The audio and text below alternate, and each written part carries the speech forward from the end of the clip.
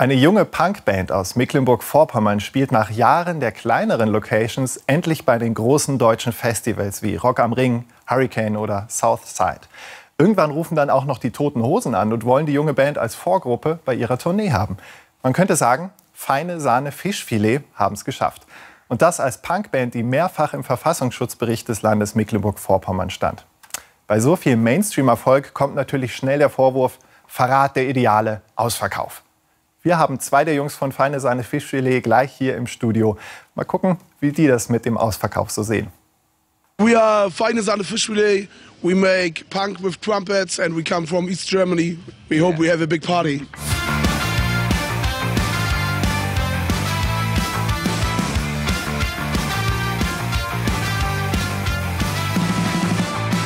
Verbietet sie, hören wir euch ein, euch fallen nur dicken Witze ein. Wenn wir sehen, dass ihr kotzt, geht es uns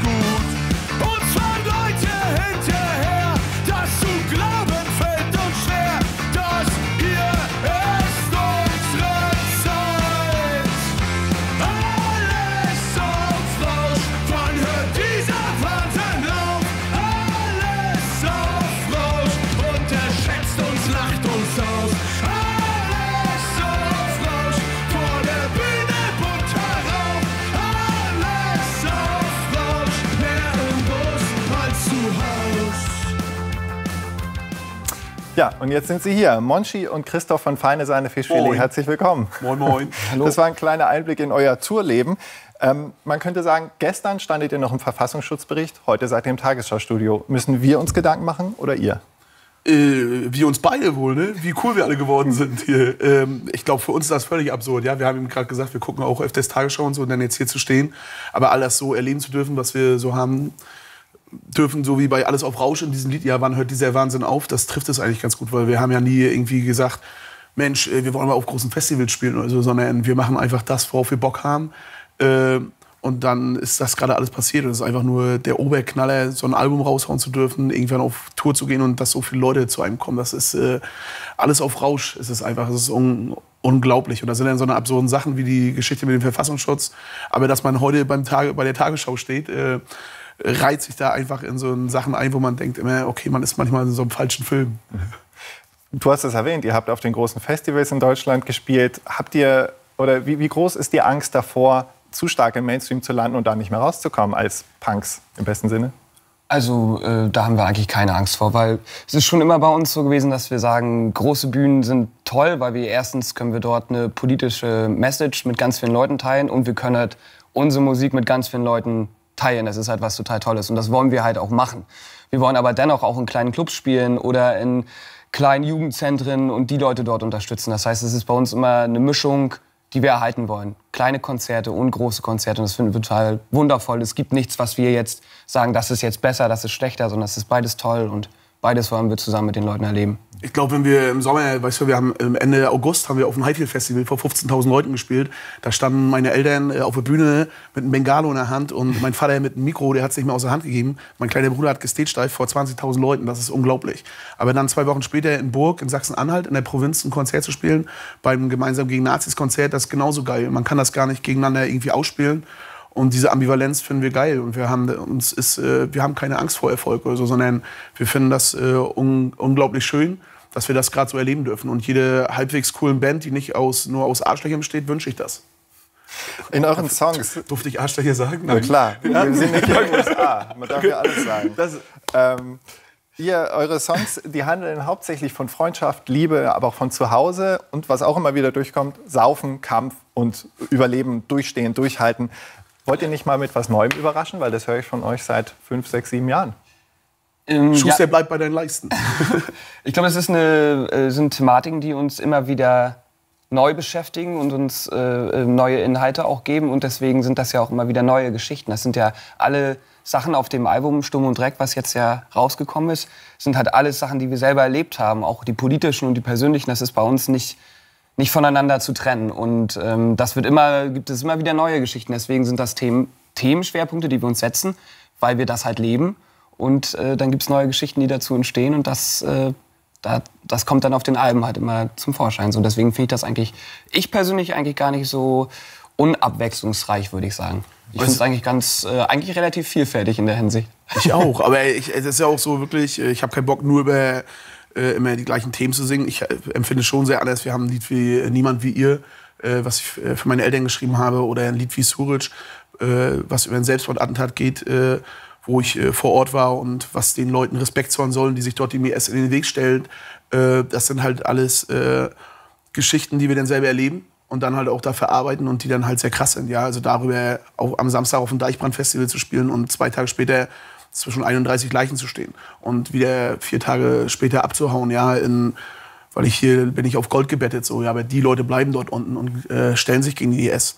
Und mit solchen Liedern versuchen wir dann schon Akzente zu setzen, die vielleicht auch mal anders sind oder andere Geschichten erzählen, aber selbstverständlich, unser, wir verändern uns ja nicht dahingehend, sondern wir leben gerne, wir saufen auch mal gerne, wir sind gerne mal asozial, aber genauso lese ich auch gerne mal ein Buch und äh, hänge mal gerne rum und äh, liege an der Ostsee, ja, wie bei diesem Lied, wo niemals Ebbe ist. Und es gibt für mich nichts Schöneres. Ich wohne zehn Minuten von der Ostsee, mehr geht einfach nicht. Ja, das ist, äh, da gibt mir das Herz auf. Mhm. Dazu passt auch gut der Song Zurück in unserer Stadt. Da haben wir jetzt mal einen kleinen Eindruck.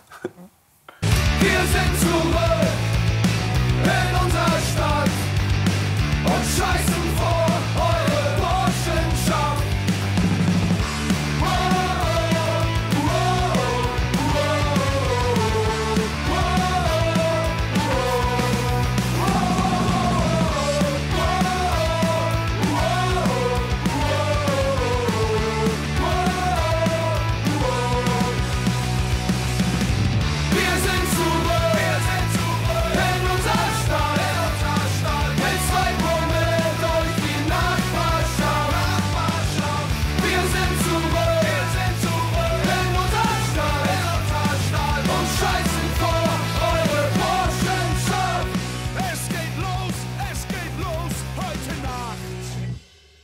Nicht gerade verschämt, was die Koketterie mit Zerstörung betrifft.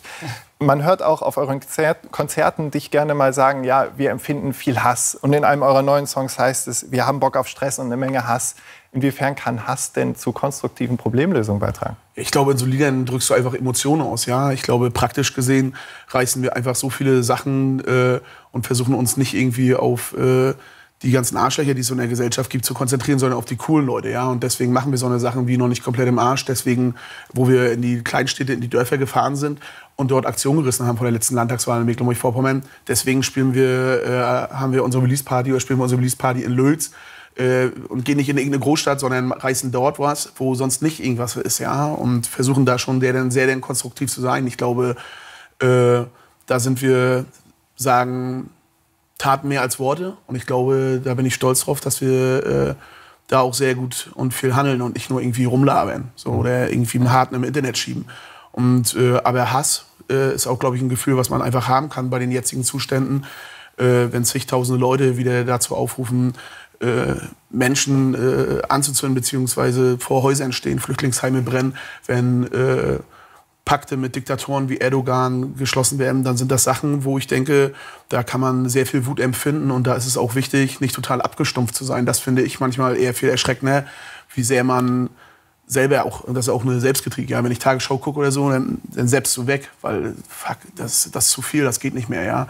Aber trotzdem sich versuchen damit auseinanderzusetzen, was geht hier ab, was passiert hier, wie sehr wird nach unten getreten und wie sehr wird wieder gegen Leute gehetzt. Das ist, glaube ich, ein Ding, wo äh, ich es schön finde, dass ich noch wütend sein kann und noch nicht abgestumpft bin. Und es gehört auch zu und auch zu unserer Attitüde einfach dazu. ne? Wir sind eine Punkband, nicht äh, äh, sind auch noch relativ jung und ähm, da ist es auch wichtig, einfach auch, auch, ähm, auch Wut gerade in, in Liedern auch mal äh, freien Lauf zu lassen, um, um auch zu polarisieren. Ne? Und es ist aber auch klar, dass wir eine pluralistische Gesellschaft wollen. Deswegen setzen wir uns für Rechte von Geflüchteten ein. Deswegen machen wir sowas wie die Kampagne Zusammenhalt gegen den Rechtsruck. Aber es ist auch wichtig, in solchen Liedern einfach auch mal Klarkante zu zeigen, wenn einen Sachen missfallen und äh, soziale Missstände ähm, einen nerven, dann ist es wichtig, das so für uns zu äußern. Das ist unsere Attitüde und deswegen auch der Style unserer Musik. Wir machen Punkrock. Eure Konzerte auf der letzten Tournee waren fast alle restlos ausverkauft. Auch jetzt zeichnet sich wieder ab, dass viele Konzerte ausverkauft sein werden. Man könnte sagen, Punk ist in der Mitte der Gesellschaft angekommen, auch politische Haltung zu zeigen. Ähm, ihr habt euren Job erledigt. Ihr könnt eigentlich in Rente gehen, oder? Ja, keine Ahnung. Das, es macht ja auch einfach mega Spaß. Ja, so Punk ist mir auch wirklich einfach total Latte. So diese Schubladen sind mir einfach wirklich egal. Ich höre auch Techno, ich höre Elektro, Hip Hop etc. Äh, wir machen einfach das, worauf wir Bock haben. Und ähm, da ist wirklich so diese Schublade Punk ja einfach wirklich äh, völlig, äh, das ist für mich nichts wert. Ja, ich äh, versuche, lebe auch in keiner Blase. Ich halte nichts davon, sich in irgendwelchen Blasen nur aufzuhalten, sondern versuche mit äh, vielen Menschen äh, was zu reißen, egal wo die herkommen, egal welche Musik die hören, egal was sie machen. Und äh, ich glaube, da gibt es auch noch eine ganze Menge zu tun für äh, Zustände, die man besser findet. Ja, und, äh, und es ist aber auch einfach der Oberknaller. Man braucht auch nicht nur rumlabern. Es ist der Oberknaller, vor zigtausend Leuten live zu spielen, zu wissen, ey, jetzt gehst du am 1. Februar auf Tour, zu wissen, in Rostock machst du dein großes Tourfinale, da kommen alle, deine Freunde, Familie. Das ist der Knaller. Da geht es dann auch nicht nur um Politik, sondern auch einfach um Emotionen. Äh, und wo du denkst, das ist, äh, das ist unglaublich. Und da leben wir oder lebe ich einfach einen Traum, den ich niemals hatte. Ich kann keine Noten, ich kann keine Gitarre, nichts angehen. Aber was ich kann, ist äh, mein Herz reinschmeißen. So. Und äh, das, äh, solange ich das noch hinbekomme und wir sechs das hinkriegen, solange äh, werden wir damit auch nicht aufhören. So. Hier steht ja seit 2015 nicht mehr im Verfassungsschutzbericht des Landes Mecklenburg-Vorpommern. Ist das Genugtuung oder eine Niederlage für euch? Ich glaube, das ist eine, wirklich eine, ein ganz klares Ding. Für uns war das absurd, dass wir da drin standen. Diese, diese Verfass der Verfassungsschutz, eine Behörde, eine staatliche Behörde, die den NSU aufgebaut hat, mit aufgebaut hat, die äh, Vertuschung immer weiter vorantreibt bei der Aufklärung. Akten schreddet etc. Das ist eine Behörde, die muss uns nicht mögen. Und das ist vielleicht auch ein Kompliment, wenn einen Leute manchmal scheiße finden. Und äh, ich meine, diese, dieser, dieser, Verfassungsschutz hat damals äh, über uns mehr geschrieben als über alle Nazi-Bands der Mecklenburg-Vorpommern zusammen. Der hat über uns mehr geschrieben als, der, als dem NSU, als über den NSU. Und der NSU hat in Rostock gemordet, der hat in Straßen- Banküberfälle begangen, der hat dort äh, agiert. Und die schreiben über uns mehr als über dieses Neonazi-Netzwerk. Das ist eine Zustandsbeschreibung und da finden wir es nicht so schlimm, äh, wenn uns, wenn uns solche staatliche Behörde eher skeptisch gegenübersteht. So, mhm. das ist dann, äh, das nehmen wir Volley und dann bringen wir den Verfassungsschutz im Präsentkorb und sagen Danke für die Promo, das nehmen wir gerne mit und äh, konzentrieren uns dann aber auf unsere Sachen, die wir gerne reißen. Und ich glaube, jeder, der uns kennt, weiß, dass wir äh, manchmal auch Idioten sind, aber wir versuchen auch geile Sachen zu reißen. So wie dieses, diese noch nicht komplette Marschsachen oder wie ein geiles Album raushauen. So.